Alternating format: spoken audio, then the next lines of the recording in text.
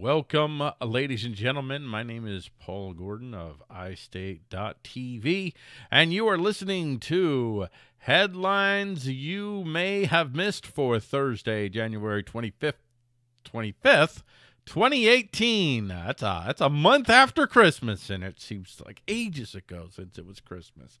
You give us 20 minutes, and we'll give you headlines that aren't dominated with fear porn. We'll give you headlines of awareness, hope, and action. And today's show title is Fear is the Crypto Killer. And you can get show notes at his, isheadlines.com. On this show, we'll be covering EU cryptophobia, China's quantum lead, lobster rights, Turkey's social media terrorist, and more on this episode of Headlines You May Have Missed. And now, here are your 20 minutes of headlines you may have missed. Let's start that clock and let's let's let's get this thing done. EU VP warns that cryptocurrency anonymity must be stopped. Citing fears that cryptocurrencies could allow people to do things illegally, the EU Commission VP is calling on the governing body to crack down hard on cryptocurrencies, and especially to hone in on ways to prevent cryptocurrencies from allowing anonymous transactions. And if you follow iState.tv, that is a theme that we drive home again and again and again. One of the key fears that coercive enterprises have is that individuals will be able to do things anonymously. Whenever authoritarians like this VP of, of the EU use phrases like, quote, unlawful, unquote, you can go ahead and substitute the phrase with action that the state cannot monitor or control. Remember that the EU lives and dies on its power to track exchange of value between entities so that it can pose impose its fee or tax uh, fee uh, yeah, we'll just call it a tax. Uh, it knows we'll get paid because of the implied and sometimes direct threat of violence against the entity that dares not cough up the fee for having the privilege of exchanging value with another entity. So this is coming from Express.co, speaking at the Economic and Financial Affairs Council press conference. Mr. Dombrovsky, that's the that's the tool in question, said, "I made some suggestions on how the EU should approach cryptocurrencies. Europe to embrace." Opportunities of blockchain. He said he wants the European Union to embrace opportunities of blockchain, but they must be vigilant to prevent cryptocurrencies from becoming a method of unlawful behavior. And he outlined his plans to regulate cryptocurrencies. He said the European supervisory authorities must update warnings on the financial stability, blah, blah, blah. Uh, really. Translated, dude, they might be able to do stuff and we might not know that they're doing it, so we won't be able to get our pound of flesh. We must stop it. We're going to the next headline. China takes lead in building quantum internet. Now, now I understand that, that this is uh, if you're if you go to iState.tv, you know that I have an iBuild category. It's one of our top categories that I look for every day. And uh, the iBuild category is a category that I reserve for examples of people building tools to create liberty. So why the heck did I put this story about China building, uh, well, they're, they, they have a satellite up in space that they're testing and they're determining, yes, this satellite can indeed send signals through the quantum internet. Why the heck would I put that in this category? Well, the reason is simple. I believe that uh, while the state, China in this case, is is the one that's using this quantum internet technology, that it's not going to be limited to the purview of the state. That this that this technology is a technology that non-state free associations will be able to use to build their own quote, hack proof, unquote, internet to send messages that might need to be protected from coercive associations eyes and ears. And so what what we're talking about here is China launched a satellite called the the Mikius or Misius satellite uh, on orbit uh, in orbit on August 2016, and now they've done some testing on it in a paper titled "Satellite Relayed Intercontinental Quantum Network." They're claiming that yes, they they have determined that this is capable of sending signals through a quantum computing powered network. Do animals have rights? Well, I tell you what, in Switzerland, lobsters now do. That's right, lobsters have rights in Switzerland. The Swiss extend rights to lobsters and probe the overall question how should our emerging understanding of animal cognition affect the way we treat animals? And do animals have rights as a result of that cognition? So this is from QZ.com. The new science of animal cognition is forcing countries to overhaul their laws. Swiss lawmakers taking a cue from William Spieksha, not, doesn't matter where they're taking their cue from. Uh, they have considered the lobster and its ability to feel pain. And so, as of March 1st, it will be illegal to boil lobsters alive. Live crustaceans, including the lobster, may no longer be transported on ice or in ice water. Aquatic species must always be kept in their natural environment. Crustaceans must now be stunned before they are killed, the new law provides. And the change is part of a broader set of Swiss rules grappling with the reality of animal consciousness. And it's very interesting because we are discovering that animals may have more cognition, more awareness, than we thought they would. And I, I, I feel like this is a, a top contender to be a topic that we're going to talk about on iSDaily Tuesday with uh, Bodhi Agora in the I Ponder segment. What does it mean as we discover that animals might have more cognition than we thought they did? Turkey arrests 150 people for pro Afrin social media posts. And uh, by the way, if you go to iState.tv, you're going to find that I am regularly trying to track what's going on with Rojava, and Afrin is an enclave. It's a part of Rojava, even though it's kind of separated from Rojava, but it's still still an enclave. And if you don't know what what the deal is with Rojava, I strongly encourage you to to do the to do the research and find out a little bit more because Rojava is an experiment in I'm not going to say it's quite statelessness, but it's approaching statelessness. Uh, it's quite a fascinating experiment that's going on there. As Turkey continues its assault on Afrin, it also continues its assault on free speech at home, monitoring its citizens' social media accounts and arresting anyone who voices any support for Afrin or any doubt of Turkey's operations.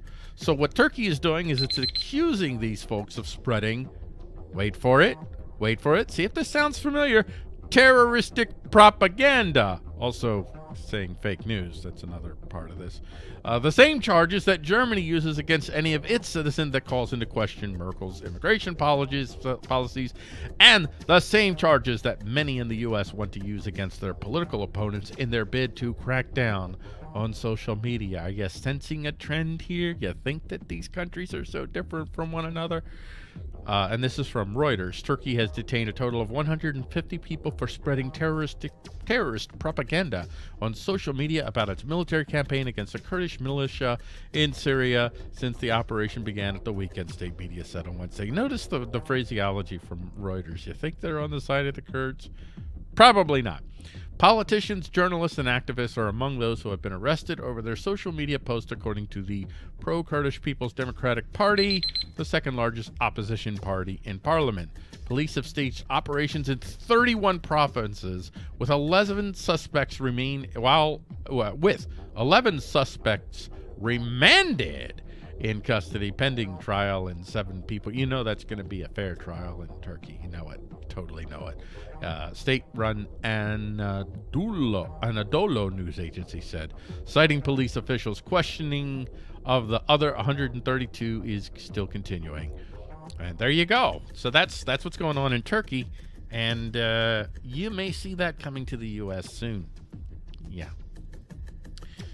California loses another gun manufacturer in wake of anti-gun laws. I know, a moment of silence, a pause, a surprise, a shock face. Do you have a shock face? This show is all audio. There's no video of me, so you can't see my face. But if you could see my face, you would see the shock face, the shock at all face. really? Uh, no, it's not shocked. It's not odd. It's totally predictable. California has been singing Take your jobs and shove them. They ain't working in Progtopia no more. I just made that up. Well, I didn't make it up on the fly. I actually wrote it, but still, I made it up today. Today I wrote it, so I made it up. And I guess you could say as I was writing it, I, I was making it up on the fly. So they've been singing that tune for quite some time. They've been singing that song in a variety of ways, mostly through extra burdensome regulations and draconian anti prosperity taxes. Uh, one other way that they've been singing that song is in their anti human, anti liberty, anti gun laws, which are chasing away the gun manufacturers, and with, with good reason. Uh, joining the ranks of the ex California gun manufacturers is Weatherby Inc., which is packing up its gear and heading east to Wyoming. That is to Wyoming, I believe. That's where the uh, the head fiend Michael Dean resides. Ten minutes. So uh, heading on heading on over to Fiendtopia, I guess you can say. Leaving Progtopia and heading. Maybe, well, I don't know. How, no, not many people would get that joke. That'd be an inside joke, so I couldn't use it. But for those of you that know, leaving Progtopia and heading to Fiendtopia, that that could have been the headline. California, this is from KTVG.com. California based firearms manufacturer will, will re- relocate to Sheridan, Wyoming as part of a multi million dollar publicly financed, what publicly financed package to bring 70 to 90 jobs and a new industrial building to town, Governor Matt Mead announced Tuesday. Okay, so that publicly financed part, I'm not for that. I guess anybody who watches me in any way, shape, or form would probably figure that out. Weatherby Inc. is a family owned company that has operated out of Paso Roble, California since its founding in 1945. So basically, Weatherby Inc., they like socialism, but then not, not that much. So they'll take Wyoming socialism. That's better than California socialism. Good job. Good job, Weatherby. Way to take those socialist dollars. I love it.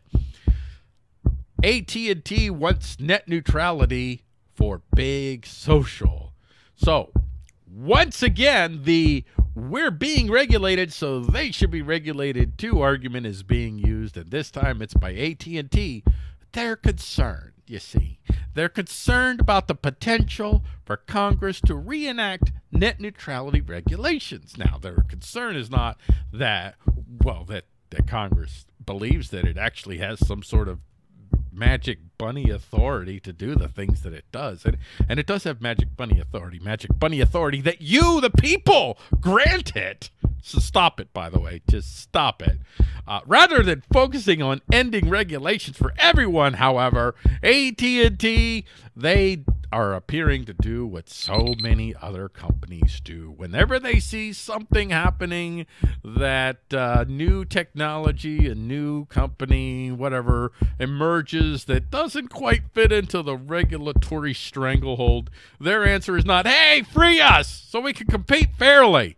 No, their answer is, hey, if we're going to be in locked in chains, they should be locked in chains too. This is, I, I used this metaphor before and I'll use it again. This would be like, uh, you know, if the Union soldiers had arrived uh, uh, at the plantation and they found the, the slaves inside, and the slave response was, Hey man, we're in chains and we're sla- enslaved. And the Union soldiers said, Okay, we're to free you. No, no, no, no, no, no, no. No, no, no. We don't want to be freed.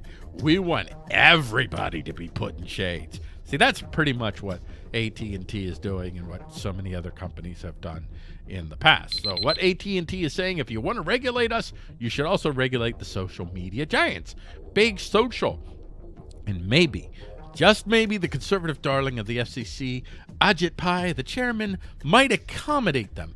Because you see, conservatives, they don't like big social. And, and I understand why, because Big Social is mostly owned and operated by neoliberals who don't like conservatives. And there are many stories on iState.tv, well, many, a, a few stories on iState.tv that touch on the conservative response to big social is not hey you know free market. We believe in the free market. Hey let's uh let's produce a free market response to big social. No their response although some conservatives are saying that but many others and i would say the majority are saying hey we need to use regulations so that we can somehow stop the neoliberals from having this quote unfair advantage in the social media marketplace WTO attempts to play down trade war fears at Davos. So, folks, when the head of the World Trade Organization feels the need to quell fears of an impending trade war triggered by the U.S. enactment of tariffs and threats of more tariffs to come, you can count on one thing. There's going to be a trade war. I'm just gonna, I'm just gonna go ahead and say there's going to be a trade war and it's not included in in the in the excerpt that I, uh, I I took from the article that I'm referring to, which is from theguardian.com. Uh, but you can you can go to the article and you'll see uh, in the article it also talks about uh, one of the one of the reasons that the person felt compelled to say something is because uh, Angela Merkel is telling the U.S. Tell, you know she's directing it at Trump. You know you better watch yourself with them you know them tariff thingies. You better Five watch because we could respond because uh, the Trump administration is apparently sending messages to Europe uh, about uh, their aluminum, their aluminium, and what that that there are more regulation, there are more tariffs that could be coming. So the the, the, the, tariff war could be more than just between the U.S. and China. Right now, China is the target, but it, it could go beyond that. So the, the from the Guardian, the head of the World Trade Organization played down talks of a global trade war after the U.S. said it was planning to take fresh action against Chinese imports. Speaking to the Guardian, Roberto Azevedo said countries were becoming more aware of the risk of a go-it-alone approach that would harm their poorest citizens the most that means that that everybody's recognizing that hey man we got to get on board with the global uh, uh, global regulations. That's the good thing. That's great. You know uh, we haven't been able to figure out how to manage our own economy so let's form some sort of global organization that tries to manage the economy of the world. That makes sense. That makes that makes absolute sense Twitter COO quits and leaves investors uncertain about the future. So the departure of Twitter COO could indicate a radical shakeup of how things are done at Twitter. It also indicates that Twitter's woes have only just begun and that investors are feeling less confident about Twitter's future. And this is from uh, benzinga.com. And so the COO in question is Anthony Noto, and he has quit and so from benzinga.com, uh, the thesis Noto played a critical role in overseeing Twitter's strategy and managing the company's operations. Hargreaves said in a brief note Since Dorsey split, splits the time between Twitter and Square Inc. and SQ, Noto's departure now creates a significant operational challenge and could serve as a signal that Twitter's ongoing turnaround will be more difficult to execute than investors had hoped. So I'll leave this uh, this last uh, headline here uh, of the main headlines. 50 Cent became Bitcoin millionaire thanks to album Animal Ambition. So 50 Cent or 50 Cent if you're down with the hips. And is, is that is that what the crazy kids are saying these days? Uh, has found himself, probably not, in the enviable position of being worth a whole ton of millions more dollars because he casually said he'd accept Bitcoin as payment for his album Animal Ambition back in 2014.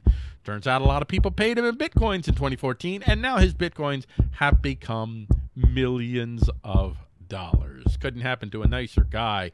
Ooh, just real quick here. I guess I can get this in. Swiss bank wants Bitcoin dead, and it wants regs to do it using the, again, the we're regulated, so they should be regulated to argument. And I just went through all that in an earlier story just in this show. A Swiss bank Two leader, minutes. Joseph Stiglitz, is calling on Bitcoin to be regulated out of existence because it has a, quote, unfair, unquote, advantage over gov currencies. That's right, because Bitcoin isn't bogged down by regulations like gov currencies are. Bitcoin should be regulated out of existence. And I will leave you to ponder the idiocy and sycophancy of that statement. But remember, Stiglitz is not just a client of government, he's also an owner. So he's speaking from a place of personal interest. Wow, we got through all the top headlines there. That's that's that's awesome. So let's. Uh, I'm just going to read more headlines here. U.S. Japan multinational core gets best corpse get best deals at World Bank. Yay! Davos talks swirl around more social media regs. Yay! Washington gun bill pushes for people to voluntarily surrender gun One rights. minute. Nothing bad could happen with that. Civilian death toll mounts as Turks continue Afrin assault, and I believe the, the death toll they're counting is I, I believe it's 30 so far. Hamas turning to weaponized drones, and that's that the the the the, the these these para paragov or non-gov entities that are turning to uh, weaponized drones. It, it's quite fascinating. It's it's it's a story. 30 you seconds. to follow. AFD becomes major opposition party in Merkel government, and Merkel don't like it because that they're definitely opposed to her in a big way. Uh, AFD, they're kind of uh, anti-immigration and oppose Merkel's pro-immigration policies. Greek PM calls Turkey an aggressive neighbor at Davos. 10 That seconds. a that's really telling that they said that. YouTube funding pro YouTube artists. That's a surprise. A taste of the emergency rally of 3D printing. And there you go. That's it. That's it. We have run out of time. We have done our 20 minutes of headlines. We can do no more. We can do go no further. That is all we have today for headlines you may have missed. And if you'd like to read more about the stories we covered today, just go to isheadlines.com and find the show notes for January 25th, 2018. And as always, remember those who need to control thoughts need to control news. Until tomorrow at 12:30 p.m. Eastern Standard Time, this is Paul Gordon of iState.tv saying, "Have a great rest of your day, fellow travelers."